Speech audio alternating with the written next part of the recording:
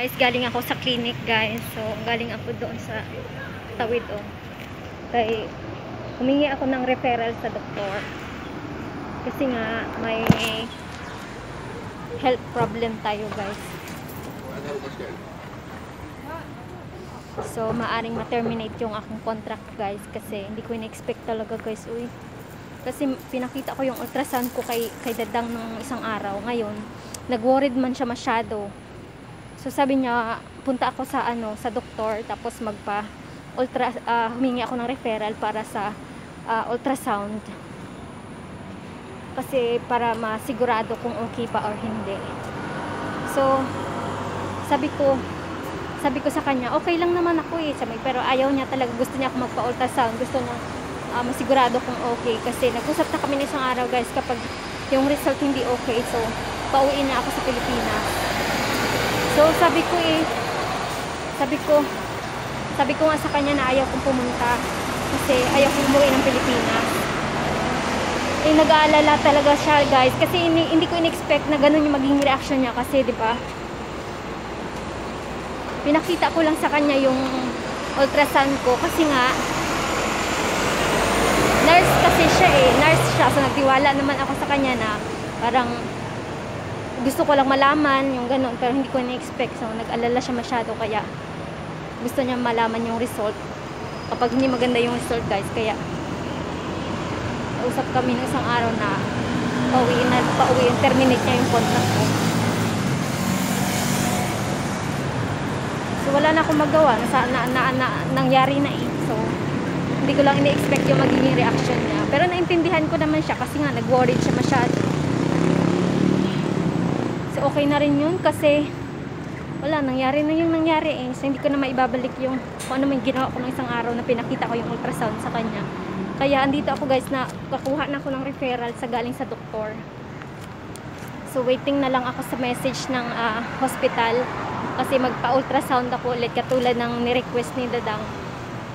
So, kung tatanungin nyo guys kung sino nagbayad, pera ko yung binayad dito sa mga ginastos ngayon ay mahal dito ang ano guys. Uy mahal dito ang mga pagpa-doktor so ano buo na ako dito. Sa ang sabi ang ang sabi ko talaga sa kanya guys ayaw kong umuwi. Ayaw kong ayaw kong umuwi sa Pilipinas. Kasi kahit matapos na lang yung kontrata ko ayaw kasi ayaw niya talaga. Ang sabi niya sa akin na ang dami ko kasi nakikita cases na ganyan. So nag-worried siya kasi sabi niya gano'n uh, part na daw part na daw ako ng family. So ayaw daw niya na na pabayaan lang. So gusto niyang ma-solve agad hanggat maaga pa kasi bata pa daw ako sabi so kailangan ano kung kinakailangan kinakailangan i-surgery sabi niya gano'n is uh, umuwi na umuwi daw ako sa Pilipinas para ma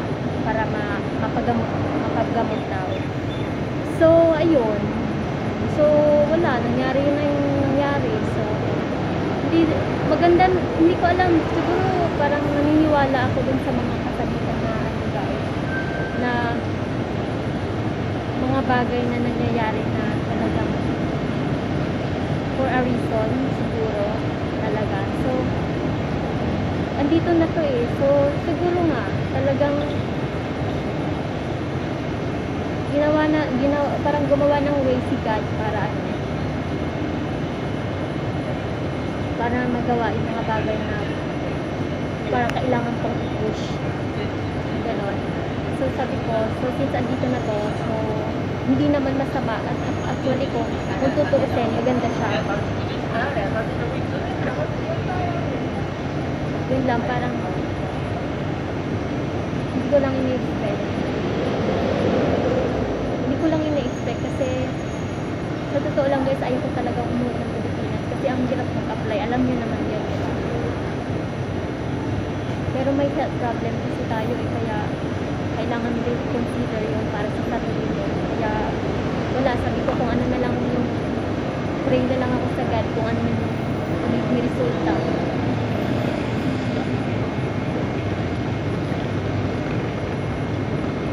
Nakakalungkot kasi kasi parang ang dami kong ang dami kong sinakripisyo ba para lang makarating dito sa Singapore tapos in just one click lang parang ano parang babalik ka na naman sa babalik ka na naman sa una. Diba? So alam niyo naman siguro yung mga nag-a-apply dyan kung nakaka-relate kayo kung paano kung gaano ang hirap mag-apply especially ngayon na COVID. So sabi ko talaga ah, bahala na bahala na si God nandito na kasi to. So wala na. Nangyari na yung nangyari na hindi ko na maibabalik pa. So thankful na lang siguro tayo kung ano yung plano ni God talaga. So sabi ko bahala na. Bahala na si God kung ano yung magiging magiging uh, kahinatnan itong aking ano dito or journey dito Hirap. Kasi hindi ko talaga yung expect guys. Sabi niya niya sa akin na alam ko naman sa lang alam ko naman kung bakit ka nag-open up. Bagay na yun. Kasi nagtiwala ka sa akin. Nagtiwala ka sa akin.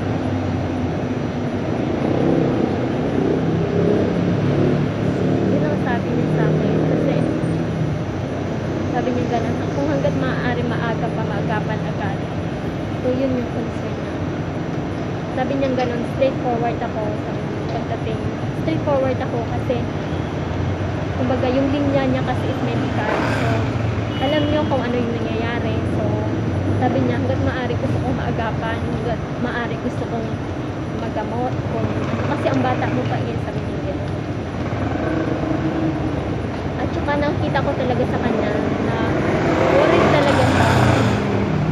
So hindi hindi worried siya guys talaga. In, kaya kailangan ko na rin. Kailangan ko kahit ayaw ko. Kailangan ko rin gawin talaga kasi nawo-worried siya eh. So, hindi naman hindi naman magiging maayos yung relationship namin kung alam mo yun kung may inaalala siya dahil sa akin hindi siya makaano makakonsentrate makafocus sa work niya kasi nagaan ma, maano siya na tao eh. Yung parang lahat inaalala niya. Tingnan niyo yung nangyari kay Duday kasi si Duday kasi may problema din. So inagapan niya agad yun. Kasi ay, hindi, siya yung klase ng tao na ayaw niya yung pinapatagal. Kasi nga yan yung work niya eh. So nasa linya siya ng medical kaya alam niya. So hanggat maaari kung maagapan, agapan agad. So yun yung kanyang prinsipyo, prinsipyo sa buhay. Kaya hindi mo rin siya masisi. Kaya kung nasabi kong gano'n so kung ano na lang talaga yung magiging resulta doon na lang ako naka, nakapokus na lang kasi yun na lang talaga yung pag-asa ko yun na lang talaga yung magiging ano ko eh. Nakasalalay yung aking uh, nakasalalay yung aking uh, journey dito sa sa yung resultang guys. Sa totoo lang. Kaya pray ko lang talaga sana na okay.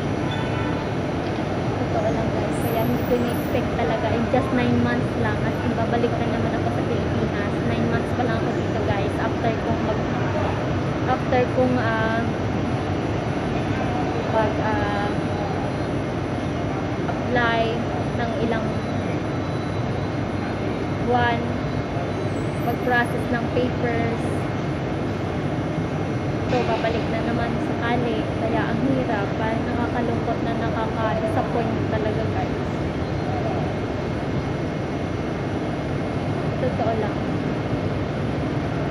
Pero wala yan. Dito na to eh hindi rin naman ako nagsisi kung bakit ko siya pinakita kasi maganda din naman siya para sa sarili ko. Hindi naman siya masama. Kumbaga maganda nga yung pinakita mo kasi at least diba malalaman mo din kung anong nangyayari. So ay, pray na lang talaga ako na sana okay lahat para hindi ako mapauwi. Sana, sana okay talaga siya. Yun talaga yung inalala ko guys kasi hindi ko alam once na umuwi ako naku, ang hirap na naman makabalik. Ay uwi na nga ako guys kasi ang dami yung drama dito eh na stress na ako sa buhay ko. Meron akong record. Sa totoo lang guys ang kwento nito is 2019 nagpa ultrasound ako 2019 since Ang mali ko lang kasi talaga, kasi covered siya ng insurance ko nung andun pa ako sa unang employer ko. Kasi kung pumayag lang talaga akong operahan that time, 2019, na-operahan na ako guys. Kaso kasi natakot ako. Tapos dumating pa yung point na dumating yung virus na yan. So parang duhalo-halo na talaga yung ano ko sabi ko. Sama talaga nung ano, ang sama talaga nung virus na, ang COVID virus talaga nung time na yun. Parang natakot ako na, di ba, ang daming namatay. So sabi ko, na lang ako sa Pilipinas. During the time, hindi ko nagawa yung, hindi ko nagawa. Hindi ko siya na pa-opera dito sa Singapore kasi nga, natakot ako sa virus eh. Pag natakot ako sa virus, natakot ako sa operation. So, covered siya. Wala akong gagastusin. Covered siya. Gastos siya ng employer ko as in covered. Kasi matagal ako sa kanila. Kaya, bayag ang employer ko talaga that time. Bayag sila. Kasi pagdating sa, sa akin, kasi ang tagal ko sa kanila. So, kung pumayag lang talaga akong operahan nun, talagang willing talaga silang gawin. Ang kaso kasi hindi ako naging open ako, hindi ako naging open sa bagay ng ganon operation kasi natakot ako. So na may may regret. Kasi may regret sa ta- ta- talaga guys. Kasi ngayon hindi ko siya hindi siya covered ng hindi siya covered ng insurance ko. Kasi yung itong issue na to is 2019 pa. So piniliwa, pinaliwanag sa akin nila na hindi siya covered ng insurance mo ngayon. Kasi unang-una yung issue mo is 2019 kaya i-reject yan yung insurance na ah, na meron ka, na meron kami na binili para sa iyo yung insurance. Kasi bawat bawat helper dito is um, required ng government na mayroon dapat na insurance. Ang employer ay dapat bumili ng insurance sa bawat helper na hinahayag nila. So ang nangyari since cover ah, since meron akong insurance ngayon dito sa employer ko pero since hindi siya talaga since issue na siya noong 2019 pa guys. Kaya sinabi ni Gadang na hindi siya covered ng insurance mo kasi i-reject yan yung insurance.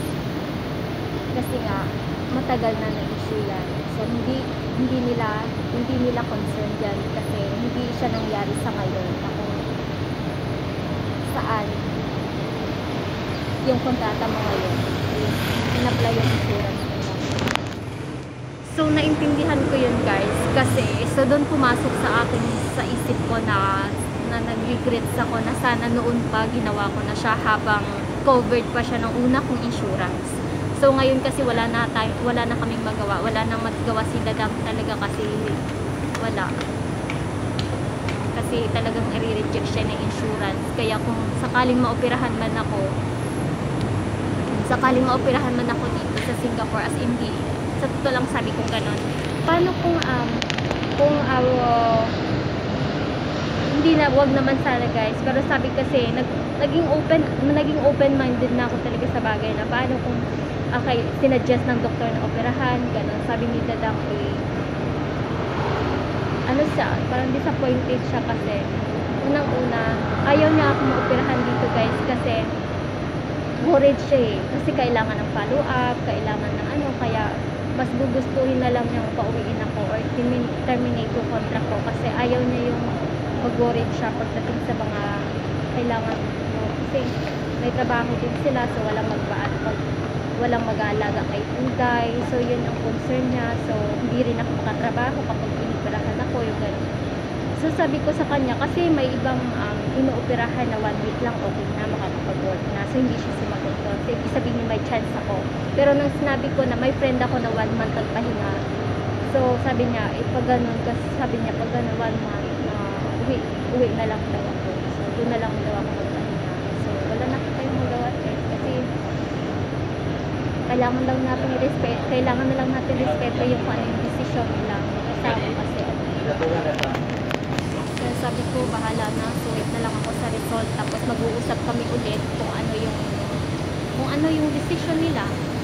Kung ano yung magiging decision nila. Kung talagang pauwiin nila ako. Di wala na talaga akong choice, guys. Kasi kahit sinabi ko nang ayaw kong umuwi, kahit na ayaw kong ah, bumalik sa Pilipinas. Kasi hirap mag-apply ulit. So, yun. Hirap. Hirap talaga, guys. Sa totoo lang. Kaya naguguluhan ako ngayon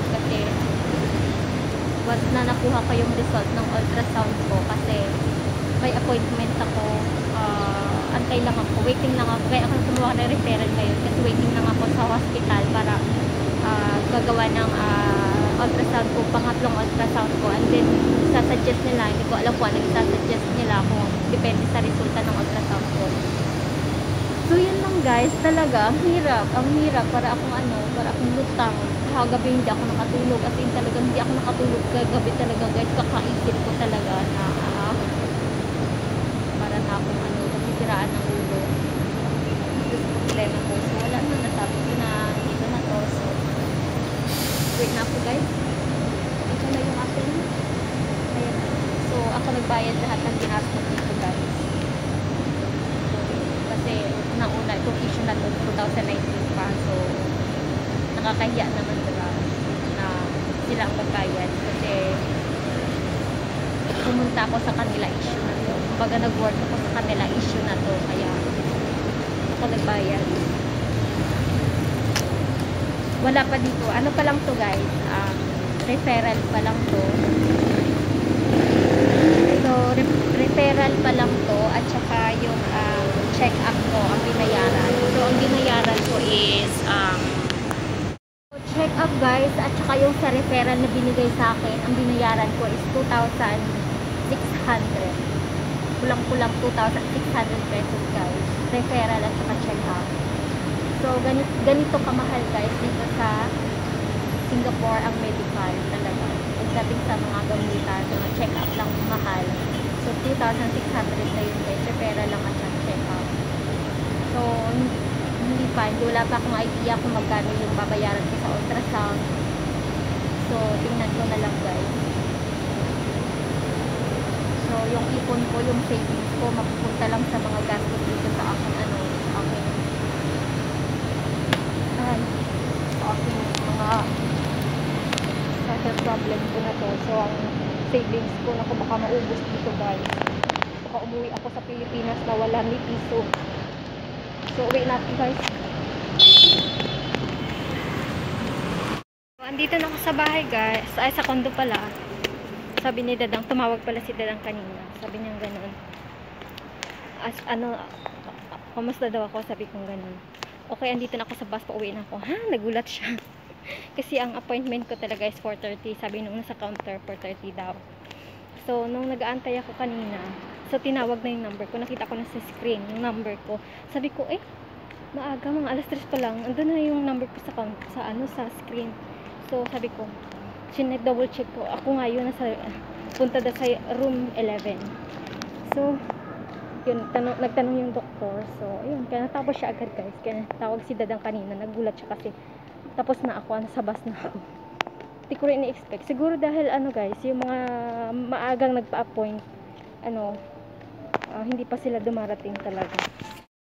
So,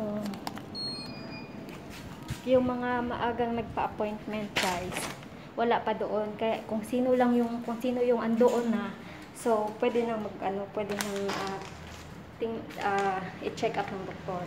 So, since andun naman ako, maaga ako dun eh, alas dos, alas dos pa lang andun ako eh. So, kaya ako maagang na, na, ano, na check up. Kaya andito ako sa bahay. So, nagulat si Dadang. So, yun guys. Yan ang ating vlog for today guys. Uh, nakakasad pero ganun talaga ang life. I-accept na lang talaga natin yung katotohanan ng mga unexpected na nangyayari sa buhay. So, thank you for watching guys. See you on next vlog na lang. Bye!